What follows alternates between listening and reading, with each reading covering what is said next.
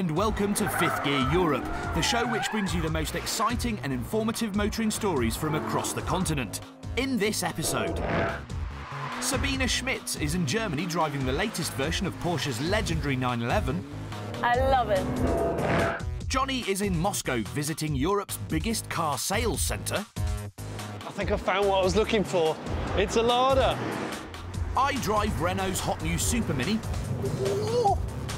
The Twingo Renault Sport. And Frank Jacobs is in Holland taking a look round Europe's biggest classic car dealership. Look at that. Lamborghini Espada, my own childhood dream.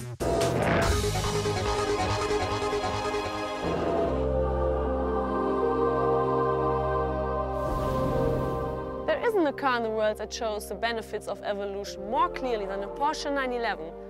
For over 40 years, Porsche have been refining the design.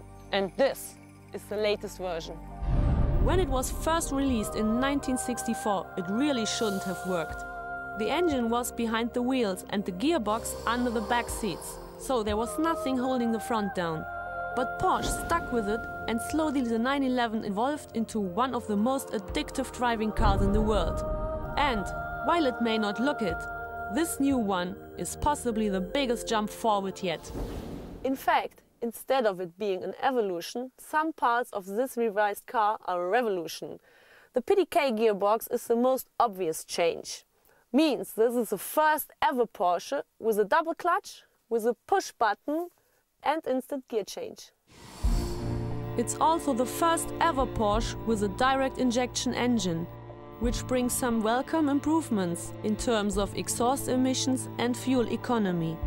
The Carrera S can do 100 kilometers with around 10 liters and emits 240 grams per kilometer of CO2. That's even better than a Passat R36. But the new direct injection engine isn't just designed to keep the trees green. It's about speed. The base spec 3.6 liter Carrera will get to 100 kph in less than 5 seconds. But the Carrera S with its bigger 3.8 flat 6 engine is even faster. Fitted with the additional options of launch control and PDK gearbox, it will hit 100 in 4.3 seconds and go on to a top speed of 302. And I think it has the best throttle response I've ever experienced in a 911. I thought the direct injection would have changed the feel of the car, but it still feels perfect. The torque in this car is what I like most. 420 newton meters at 4,400 RPM. Ooh, wow! Come sideways. Ooh, I love it.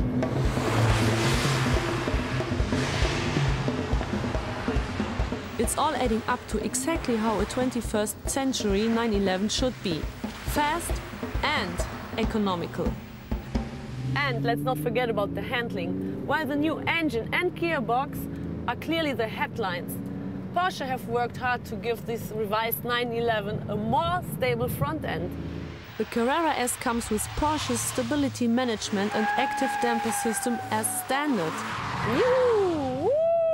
But clearly they've done more to the suspension and although they won't say exactly what they've done, when it's in sport mode I think this is the best handling two-wheel drive 911 ever. It's really good balance, especially in tight corners. Really feels good. And it turns in way better than the former model. So these little progressions have again made the 911 complete and at 93,000 euros it's well priced. But what about the biggest revolution of them all, the gearbox? As a racing driver, I am used to proper racing gearbox, sequential gearbox. But here, there's one problem. They change the direction. So usually you pull if you want to take a gear higher. But in this case, it's totally different. You have to push, and that confuses me a little bit.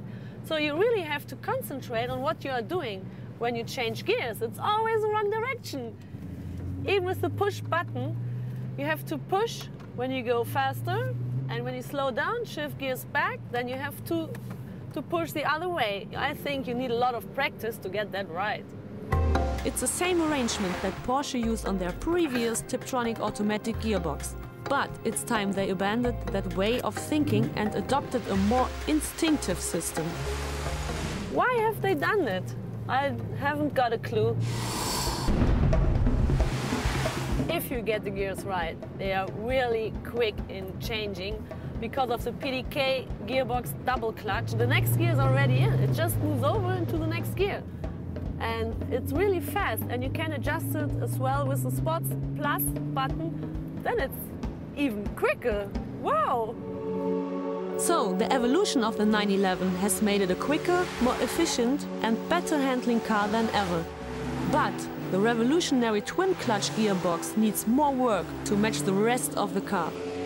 The rest of the car is brilliant. I love it. I love the engine, I love the suspension. Everything is really nice, except the gearbox. That makes me crazy!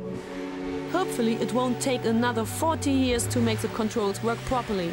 Until the next version comes out, I'd have to buy a manual. Welcome to Major City. This is the biggest car dealership centre in the whole of Europe, and it truly is epic. It's 15 minutes outside of Moscow and occupies 12 hectares. There's nearly 5,700 square metres of showroom space, and it's estimated between 25 and 35,000 cars will be sold from this site in the first year alone. Now, the price of oil going up has meant that car sales around the world have gone down. But in Russia, where they happen to have loads of oil, everyone's getting richer. Disposable income has doubled in the last five years. And guess what they like spending their money on? Cars. Around 50% of people in Western Europe have a car, but in Russia that figure's nearer to 20%. This place is designed to let them catch up and make the whole car buying experience a lot easier. No less than 11 big players operate out of seven giant buildings, so comparing a car is just a stroll away. It's utter genius. If you live near Moscow, it's like having a permanent motor show right on your doorstep. But the trump card lies up there above these two dealerships, because whilst Dad can get excited counting cup holders and talking tyres, the rest of the family can hang out in the major mall. Dobre utro. Up here we've got two cinemas, a bar, an internet cafe with 40 computers, a beauty centre and hairdresser, a play park, a remote control car track, and a gadget shop. And thanks to the dealers, all the entertainment facilities are free. Come down into the belly of Major City, and this is the department where they just bring all the trade-in cars, all the part. If someone's gone and bought a new car, they wanted to trade their own in because maybe they're too lazy to sell it, this is where it comes. I mean, I, see, I'm under the impression, or I was, that you'd expect to see a lot of really old, you know, quite rubbish Russian cars, but actually, I've got everything Chrysler 300C. Wow, I've got to have a look at that. That's the V6. It's actually the worst engine. Can't see any Ladas at the moment, no Volgas. Oh, VW Touareg. Is it the V10? No, it's the V6 diesel, but non, not a shabby car. I think I found what I was looking for. Oh, and it's got a spoiler. It's a Lada. I can't even read what model it is. It's a 1500cc. Oh, the interior looks like it's been woven out of duck feathers. It's got no hubcaps. This is this is true poverty spec. Six thousand eight hundred and fifty dollars US dollars. So that's uh, well about six thousand eight hundred euros. Six thousand eight hundred euros. Well, I wonder what they traded it in for. I wonder if they drove out in a brand new Porsche Cayenne turbo. This year, Russia's expected to outsell every car market in Europe with an estimated 3.3 million cars sold. Now, that is an incredible amount, but when you see places like this, which takes the concept of buying a car and turns it into a sort of family theme park event, it's kind of easier to understand. Still to come on Fifth Gear Europe. I'm in France testing a tiny new hot hatch, the Twingo Renault Sport. It's really good fun. And Frank Jacobs drives one of the world's most beautiful and sought after classic cars.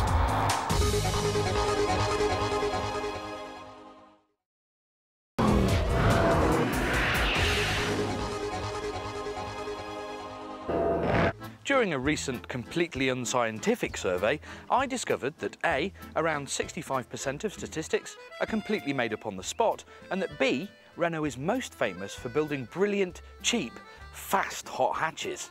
Think about it. We've had the Renault 5 GT Turbo, the Clio Williams, the 172, the 182, the 197. Every single one of them a peach. I actually hold Renault Sport in the same high regard as I do BMW's M Sport division. They seem to be able to ferret the best from every chassis, massage the very best from every engine they use. They make superbly balanced cars. But surely this is going to put that glorious reputation at risk the Renault Sport Twingo.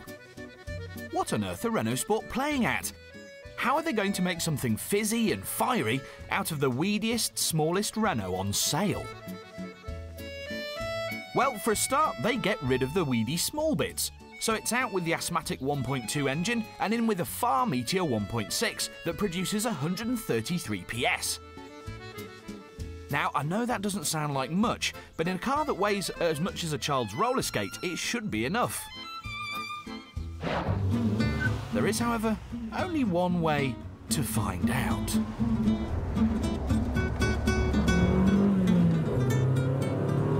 Okay, so the engine's a bit gruff, but it seems to enjoy a little bit of abuse, and the whole car's got this kind of tough, buzzy little vibe about it. It can nip, look it can dart, and you can absolutely thrash the nuts off it, and this car just feels like it enjoys it. 0 to 100 kilometres an hour takes 8.7 seconds, and top speed is 200 kilometres an hour, which is okay if not exactly electric. But I do have one very big issue with the Twingo. In a word, build quality. All right then, that's two words. Just look at the plastics on this dash top and door cards. Listen. They are frankly terrible. It also makes the car very, very noisy at speed. There's a couple of other big issues as well. Every time I go around a couple of decent corners, the cowl on this dash top is working itself loose. And this morning, I got in the car, turned the key, and it snapped in half. Frankly, I'm not that impressed. But you can almost forgive the car when you find the right sort of road, mainly because Renault Sport are magicians with chassis setup. This little car may not be about out-and-out -out performance, but it is about great handling. In standard form, the Twingo Renault Sport costs about 13,000 euros.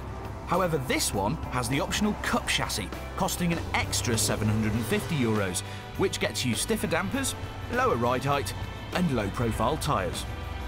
But if you're going to get a Twingo 133, then really you have to get this little bag of Go Faster bits. It makes the car tighter, tauter, more responsive. Look, just fling it into a corner and everything seems to hang together really well. It reveals more about what the front tyres are doing, where the grip is, and more importantly, where it isn't. Body control is really good, look, check it out, though it can get a bit sort of bouncy over rougher roads. The thing is, when you really start to push, you forget the niggles and start to think that this Renault Sport Twingo could be the answer to downsized motoring thrills. Whoa! Without the downsized adrenal gland. It's really good fun. This could be the future of performance cars. In these fuel-conscious times, we may have to sacrifice top speed for the thrill of great handling small cars. The only problem with the Twingo 133 is that when you stop, you touch the crappy plastics, you notice the bad build quality, the lack of equipment, the lack of sound insulation, and you thump down from planet good mood to planet vaguely disappointed. No matter what good work Renault Sport have done with the chassis, they couldn't change the very basic DNA of their starting point.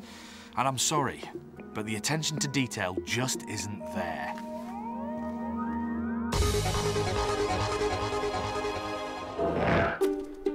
I'm about to show you a car showroom like no other.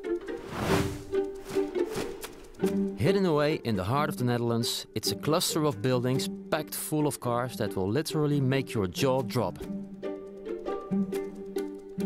It's called the Gallery in Brummen and is the biggest classic car dealership in the whole of Europe.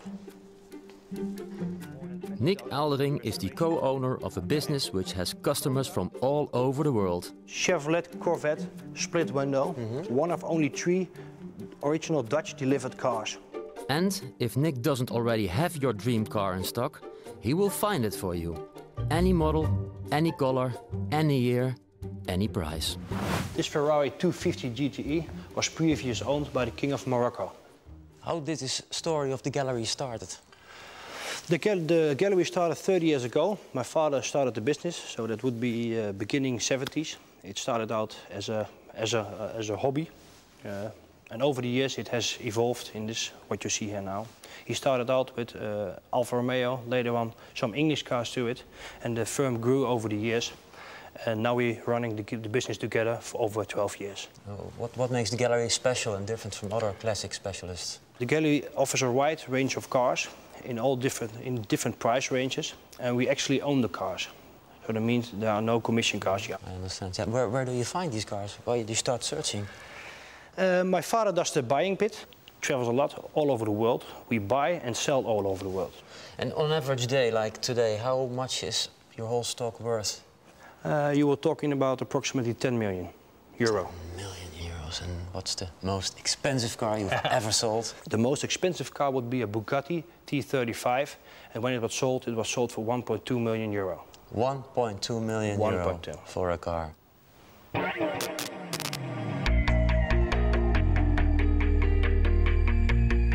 But the great thing about the gallery is you don't need to be a millionaire to find something interesting and affordable. Like this Saab Sonett. Buying a classic car might seem very expensive, but look at this sign. The previous owner spent 40,000 euros on restoring this car, and now it's on sale for 21,750 euros. So that's a bargain. This is a very rare car. It's actually made in Holland, and I'm afraid that the name will ring a bell. It's called the Gatso, and it's weird to see that the man who spent his life building fast cars later built a machine to stop us from enjoying fast cars. Only two were ever made, so it will cost you 148,000 euros. Look at that. Lamborghini Espada, my own childhood dream, hidden away in the furthest corner of this basement. For just 36,000 euros, I could live that dream.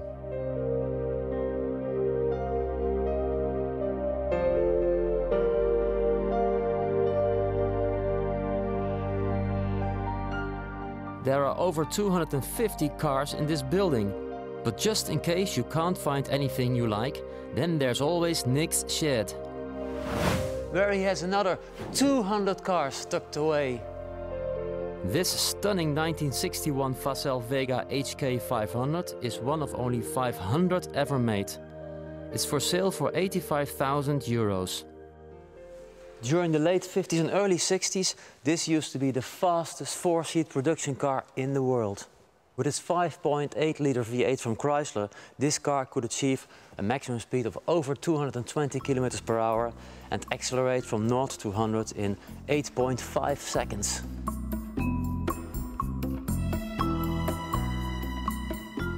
This Rolls-Royce was completely rebodied by the previous owner at the cost of 200,000 euros.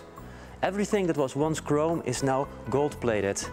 It's sold again and it goes back to where it came from, the Middle East. There's so much to distract you that I almost forgot the most important element of buying a car. The test drive. This is a 1964 Ferrari 250 Lusso. It's glorious and very, very expensive. The Lusso has Ferrari's 3-liter V12 engine, producing around 250 PS and reaching a top speed of 240 kph.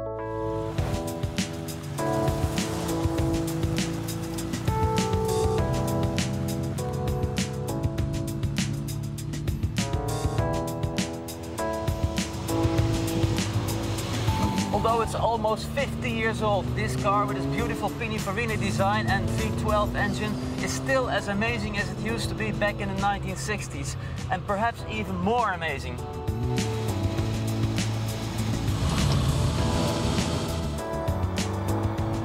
You know, Steve McQueen used to own one of these. He used to take it out on high-speed trips on the Californian roads. And that's just how cool this car is. One thing is sure about Nick, he is a very trustful man because it's been snowing here a few days ago. It's slippery, it's wet, it's winter, it's scary, and still, he lets me drive it. The Ferrari is new to the Brummen collection, but I doubt it'll stay here for very long, even with a price tag of 600,000 euros. You can spend hours, even days walking around here and never get bored. Because around every corner there's something new and exciting to catch your eye.